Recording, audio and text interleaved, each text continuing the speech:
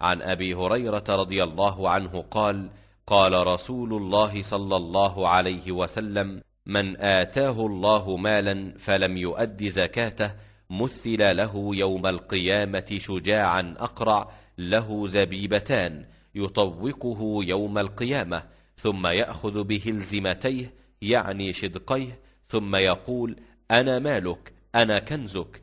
ثم تلا ولا يحسبن الذين يبخلون بما آتاهم الله من فضله هو خيرا لهم بل هو شر لهم سيطوقون ما بخلوا به يوم القيامة ولله ميراث السماوات والأرض والله بما تعملون خبير